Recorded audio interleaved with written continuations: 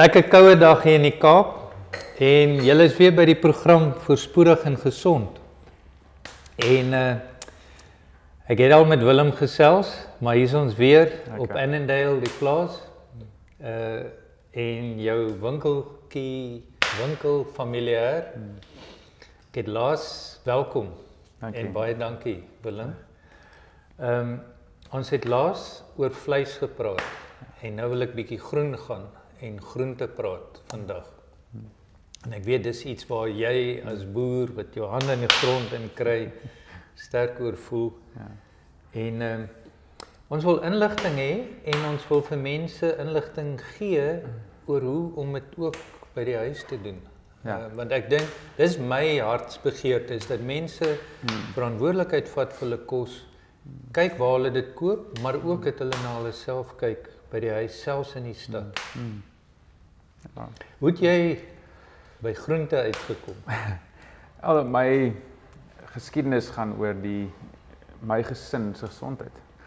En ek was nie in beheer van my gesin se gesondheid nie. So ek het gaan kyk waar kom my vleis vandaan, my groente, my water, my brood, my en en dan gaan delf jy bietjie dieper in hoe dit vervaardig word. Um en nie net op die rak nie, jy gaan lees jou ehm um, vervaardigingsproses, die prosesse gaan kyk gaan en wat sit hulle by? Ja. En ehm um, preserveermiddels, kleurmiddels, geurmiddels, al daai goeders. En jy sal verbaas wees hoe hoeveel gasse word gebruik om groentes in pillow packs ehm um, gesond te hou en vars te hou en so voorts. Ehm um, en al preserveer, ja. Preserveer. So uh, ek het toe gesê nou maar kom ons maak seker dat ons water, ons ons brood, ons vleise en dan ons groentes en vrugte kom van ouens waar ek kan gaan na die plaas toe. Ek kan gaan kyk hoe lyk sy grond. Mm. Uh, my agtergrond is natuurbewaring, landbou. So as ek na die grond gaan kyk, analiseer ek die grond eerste. En dan gaan kyk ek, is daar mikroelemente? Is daar ehm um, lewe? Mm. Is daar filamente? Is daar 'n klein ekosisteempie daaronder? Of is hy sommer net doodgespuit in erf? Daar's geen lewe in die grond nie.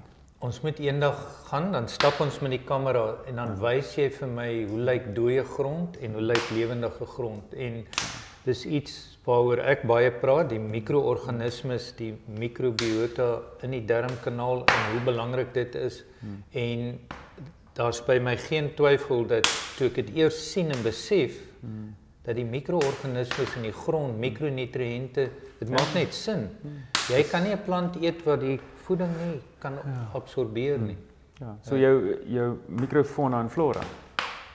Ehm um, jou fungi, jou uh, bakterieë, alles in die grond speel 'n rol om die ehm um, rou materiale af te breek en in 'n vorm te sit dat die plant dit kan opneem. Hmm. En so dis belangrik om in 'n gesonde grond te hê. Ehm um, nou kan, dis, kan jy ongesonde grond gesond maak? Ja. OK. Ja. So die eerste stap wat die ouens altyd doen is om die ongesonde grond gesond te maak. Ehm um, en daarso kyk jy na uh, plantmateriaal wat jy moet insit. Ja. So die plantmateriaal ehm um, skep 'n uh, plek waar voedingsstowwe kan bymekaar kom. Mm -hmm. En dan sit jy by dit sit jy jou komposvormende mikroelemente. En daar's dit fauna flora. So jy kan enige eh, wat jou wingerdboere doen is. Hulle plant is in die wingerd in die winter, sien, ja. saai hulle. Ja. Ehm um, en dan daai raak kompos want wat hy doen is hy oes hom nie, hy ploeg hom letterlik in die grond in. Okay. En dan die natuurlike minerale wat daar ag ehm komposvormende ehm um, fauna en flora wat daar is, breek dan daai ehm um, korrog wat jy gesaai het af sodat jou wortels van die van die wingerdstokke dit kan opneem. Dis 'n kompos. Ek ry so met my fiets nou kyk ek die dink ek die wingerdboere kry swaar swaar want hulle begin nou selfs koring tussen die wingerde in die winter om hulle deur die winter te dra. Maar jy maak okay. so dis so gaan nie so swaar yeah, met die nee, wingerdboere nee, nie. Hulle sal maar dit maak sin. Ek is baie ja, bly om dit te hoor want ja wat ek ook gehoor het is dat die wingerd een van die met al die sprui sproeie een van die mees destruktiewe chemiese beskadiging van die grond Hmm. Ek praat nou onder korrek, ek net hmm. gehoor. Maar ek kan sien nou wat jy sê want ek sien dit al hoe meer. 10 jaar terug het ek nie dit nie daai saaiery tussenin gesien nie. Okay. So jy het so jy het 'n dek gewas wat jy opsit. Ehm um, en hy hy bring stikstof in. Enige kompos wat jy in 'n winkel chemies gaan koop, NPK. Ja. So hierso NPK en is die stikstof. So jou stikstof wil hy bou en ehm um, dis hoekom jy jou cover crops noem hulle dit. Okay. Tussen jou rye. En die wingerdboere weet, as jy cover crops opsit, is daar voedingsstowwe wat onder uitkom en dan groei hy. Ja. So in die somer het hy sy kompos om te kan aktief groei. Ehm um, wingerd is 'n meer sensitiewe ding want jy moet hom onder stres sit sodat hy kan um, meer geur. geur, beter geur het. Ja. En ook as jy enige plant onder stres sit, dan wil hy nou blomme maak en sade, vrugte en sade sodat hy kan oorleef. kan oorleef sy ja, nageslag moet kan oorleef. Ja. As hy nou gaan vrek onder die stres, dan moet hy ten minste 'n nageslag kan in die grond sit. Okay. So is baie interessant hoe jy as jy hom onder stres sit, dan blom hy meer en meer vrugte en dan sodra hy geblom het en vrugte dan gee hom weer kos. Ja. Dan dan so, so dis 'n kombinasie, maar dis baie tegnies. Ek kan kom ons ja. Kom weer terug op die groente. So ons het gegaan en gesê waar kom ons groente vanaf? Hmm. En ek het na spesifieke boere in die omgewing gegaan want jy wil dit lokaal op jou voorstoep hê. Ja. Ehm um, en ek het self ook gedoen, maar die volume wat ek begin doen het toe is te veel vir my homself, al die wortels en die slaaie en die komkommers en die dis net te veel. So toe het ek gegaan na die ouens en gaan sê, "Hoe lank boer jy al hier?" En een van ons groot ouens byvoorbeeld, sy oupa daar geboer in Rythby. Ja. En sy so, oupa en sy pa en en hy het so het hulle hou hulle aan. So as jy na sy grond kyk, is dit wat sy oupa geïmplementeer het in die grond. Dis vir my van die mooiste grond Rysby. Ek ry ja. daar verby ook. Praat jy van daai die huisies met 'n stuk landery? Jy het 'n huis met 'n stuk landerye en dan het jy plase plase rondom. Ja. Dis blekke grond, dis meer sanderig. Meer sanderig, so hulle bring hulle plantmateriale in en dan sal hulle ehm um, meer organiese materiaal in die in die grond in in. in maar weer eens, hulle proses wat hulle doen is ou manier van boer. Met ja. ander woorde, ehm um, jy jy los hom bietjie laat hy laat hy stabiliseer op sy eie dan begin jy deur onder die grond te plant. Hmm. Nou iets wat jy oes onder die grond, aartappels, soetpatat, wortels. Dan as hy so entlank in die in die proses in is en jy's amper reg om te oes, dan plant jy die volgende ding wat net bo die grond gaan gaan oes. Met ander woorde jou kole, slaaie, ehm um, selerye, al daai tipe. Hmm. Dan as hy en as hy nou besig is om ryp te word en reg vir oes, dan plant jy weer met jy ploeg nooit die grond nie. Ja. Nou plant jy net weer die ding wat bo-op vrugte gaan gaan gaan gee. Met ander woorde jou tomaties, jou boontjies, jou ehm um, ertjies, jou so so enige ding wat jy gaan bo 'n vrug gaan maak, blommetjies vrug maak En en dis dan die hoogte kan jy maar sê, nou het jy uit drie vlakke geoes en dan sit jy jou ploeg in as jy wil. Ja. En nie diep nie, net vlak. Hulle ploeg hom net so 'n bietjie om. Ek het baie gewonder ploeg hulle alles weer terug oor oor ploeg want dit vir hmm. my hmm. daai hele mikrosisteem word nou de mekaar. Dis soos wat as as jy klomp houte optel, dan's daar hmm. goggetjies en muurtjies en ja. eiertjies en dink ek, "Sjoe, nou voeter ek al my ekosisteem." Ja. So, so jy wil daai organiese materiaal in die grond inkry, ja. mm. maar jy wil nie daai hele mikrosisteem opvoeter nee. die mekaar maak. So, so jy het okay. nie 'n diep ploeg nie. Jy het 'n dis of jy het 'n of jy sny hom met 'n bossie kapper en, en jy laat hom net daar val of jy ja. en dan dis jy hom in die grond in. Okay. En hy moet net ingedruk word in die grond halfpad. Ja. En dan dan breek hy self af. En dis jou komposisisteem. Dan lê hy weer 'n bietjie bra of rus jy die grond direk dat daai kompos nou kan begin of dat die plante nou weer kan kan begin grond kompos. En weer dis waar die stikstofbindende of die stikstofgeende ehm um, boontjies, ehm um, ertjies, ehm um, boere gebruik al hoe meer hierdie hierdie boerbone self ehm um, wat hulle tussen die wingerde plant byvoorbeeld. Dis stikstofbind dit dit ploeg jy weer terug in. Ja. Uh en dan is daar jou komposmateriaal. So as as jy by die huis so iets wil doen, dan begin jy met daai. Dan begin jy met hom uh jy jy saai klomp boontjies en dan ploeg jy vir hulle diep in of spit hulle diep in en dan gaan kyk jy dat jy spesifieke mikroelemente inokuleer kan jy maar sê. Ek wil daaroor praat, ja. maar ek wil net iets sê wat ek nou besef terwyl ons sit en gesels. Dit beteken 'n ou wat 'n 'n enkel produk plant, ja. sê net maar sy hektaar, hy kry 'n hektaar groente, maar jy het nou net vir my 3 hektaar gemaak uit 'n hektaar deur die een ding bietjie hoër en hoër. Ja. Dit maak net soveel baie op die ouend gaan jy mos nou meer plus jy gaan elke plant onttrek sekerlik meer spesifieke elemente. Dis reg. So as jy net 'n enkel ding opsit aan mekaar, moet jy daai grond uit Ja, jy loop hom heeltemal uit. So so deur so te boer gaan jy elke keer iets anders terugsit en iets anders uithaal. Ja, ja. Dit maak ook sin. Baie meer sin. So jou jou kommersiële groot boer spuit jou grond dood. Hy's inert, daar's geen lewe nie.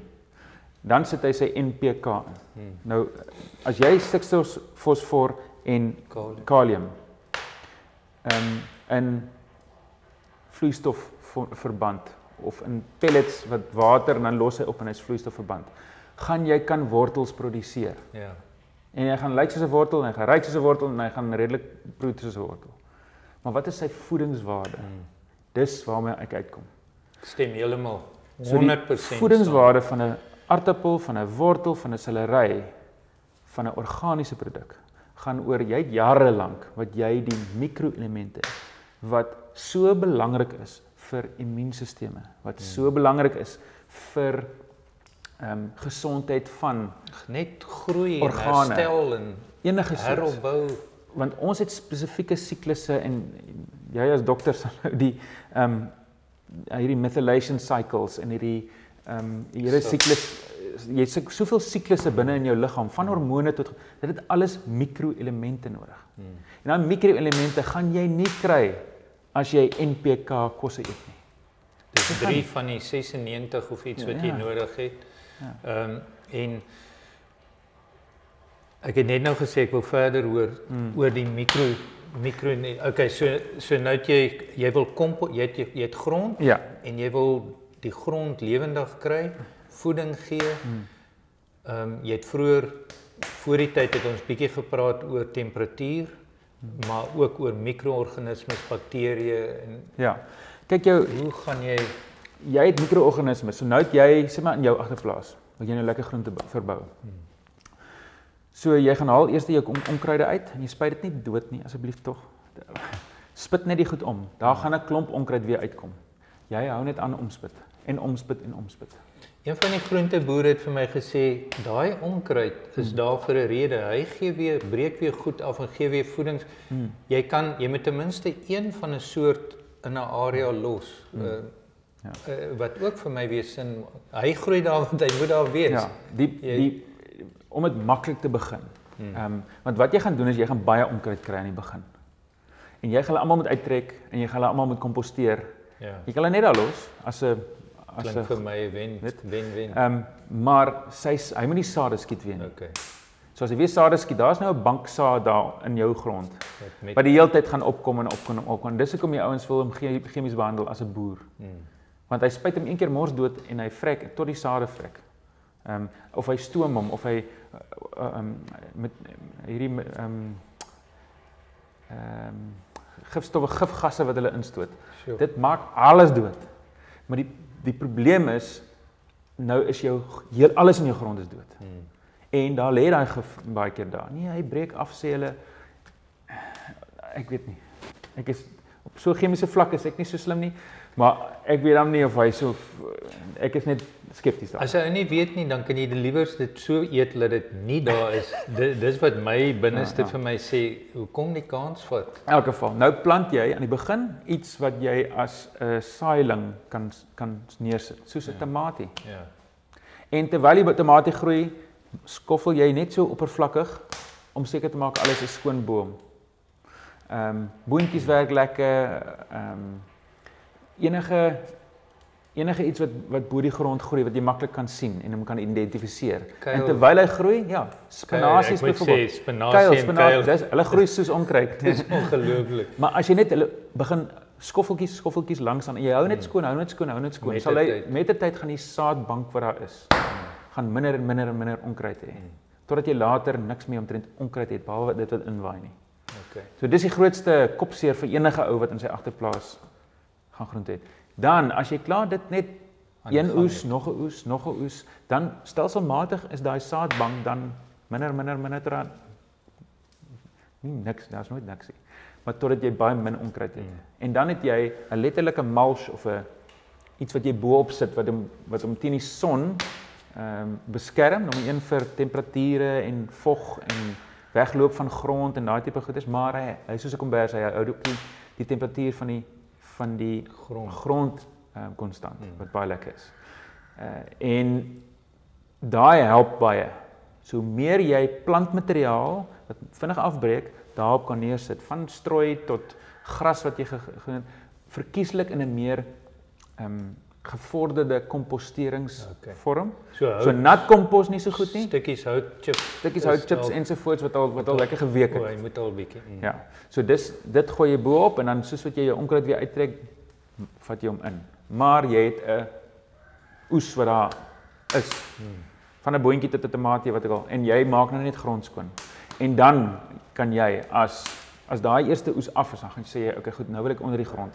Dan kry jy jou klein aardappeltjies. Hmm. En jy plant sommer jou eie aardappeltjies. As jy weer sien, steek hulle uit. Ek het gesien 'n aartappel wat begin uitloop, jy sny hom in 4, 5 stukkies. Soet patatjie self. So soetpatat is die maklikste ding. Jy druk sommer net 'n rand Ja, in. ja. Maar dis weer eens, jou grond Moet moet reg wees. mm. Ehm um, lekker lug, uh klein mikroorganismetjies en goedjies, so fantasties. En en doen dit. En kry die kinders betrokke en kry jy weet hulle hulle, hulle dit is vir hulle ongelooflik om te sien hier groei ding uit. Ja, en ek het Ehm, hom geplant. en Ja, ek het hom geplant en as hulle vurk so steek en hulle lig hom so uit en daar's 'n klomp worteltjies of as 'n klomp um, Wurmpies aartappeltjies en goedjies goeie. en- Yes, ja, hulle het dit gemaak. Hulle is baie trots. Ek moet sê patat, ek het al ranke ingesit dan vergeet ek daarvan. en dan eendags dink ek ek moet gaan kyk en dan haal jy so Ja, patat man. daar uit. Ja, daar's Maar klomp. jy hy het sê jy kan dalk nie proe nie, maar mens kan die verskil proe. Daai wortels van jou wat ons verlede week keer hier geëet het, Nee, onthou dit. is net dit proe net anders as 'n winkelwortel. Hmm. Uh Ja, hy het daar- meer elemente wat hom opgebou het. So dis ehm um, tweedimensioneel, drie. Hoe groot area het 'n kan 'n ou iets mee doen? Ehm um, Jy kan by uh, 1 meter by 1 meter area. 1 meter by 1 meter. Kan Dis 'n jy- halwe voordeur. Dis kan jy begin mee.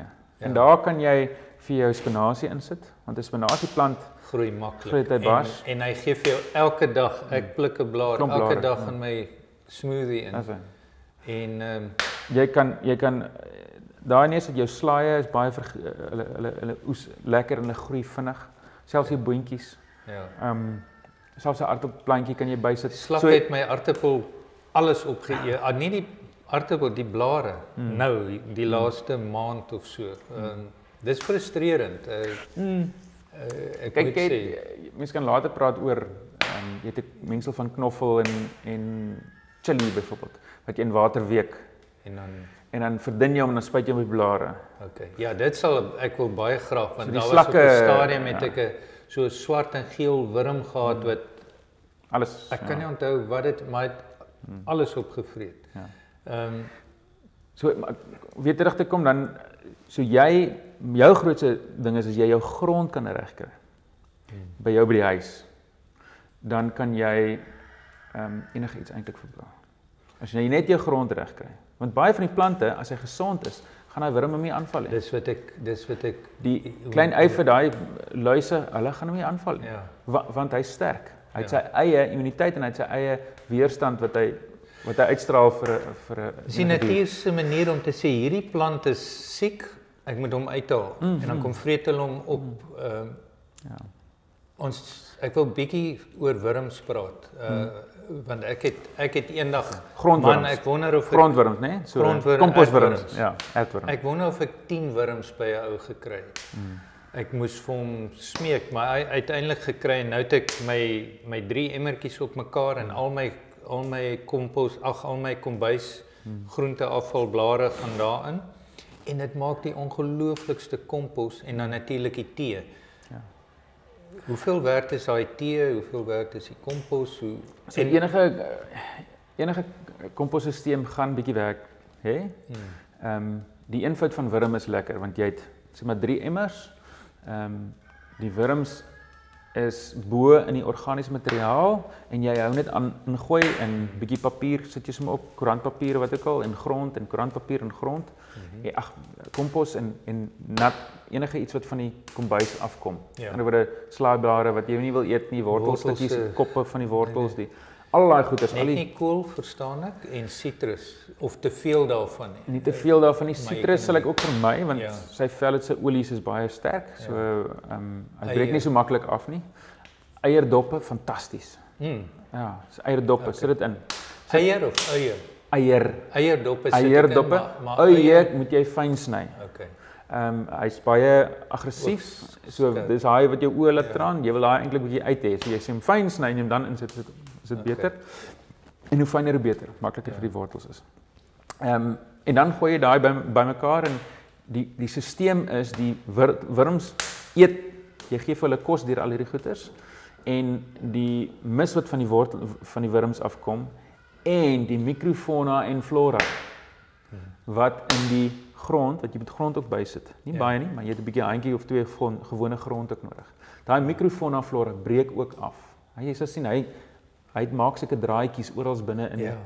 En ja. die wurms is hier tussenin. En dan wat jy doen is jy gooi dan water of sê maar bo in. So as jy 'n liter water bo in die emmer ingooi en jy het 'n kraantjie onder, dan loog hy nou al daai minerale, nutriënte en vitamiene en goeie bakterieë bykomstig van die mikroflora alles en hulle saaitjies ook en aardwurm eiertjies en alles. Alles gaan deur eindig in jou sap wat aan die oggend onderkant is of die tee. Ja. En daai tee inokuleer jy dan letterlik jou groente kompos, ag eh, jou jou groentetuin wat jy nou het.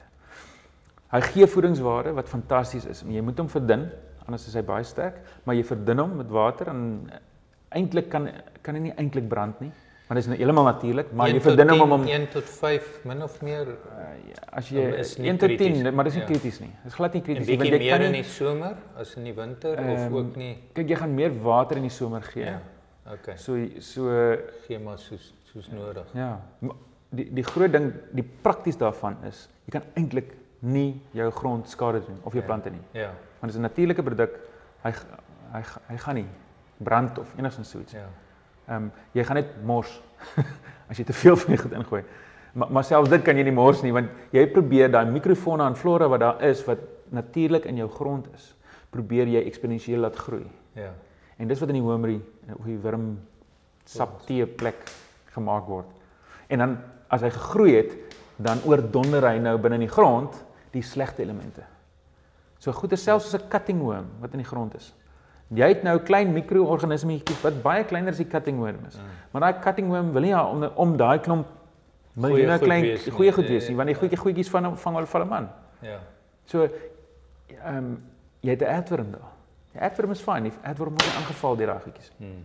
Uh, so dis baie interessante ekosisteempie wat jy dan kweek daar.